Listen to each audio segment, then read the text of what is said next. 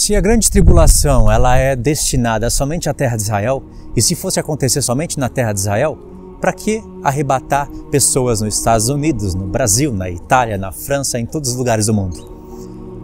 Israel é uma terra pequena dentro do Oriente Médio as pessoas poderiam ficar tranquilamente vivendo nas nações e a grande tribulação estaria rolando lá na terra de Israel. Acontece que a grande tribulação não é direcionada somente para a terra de Israel. O epicentro da grande tribulação estará lá, mas na verdade todas as nações da terra sofrerão grande tribulação.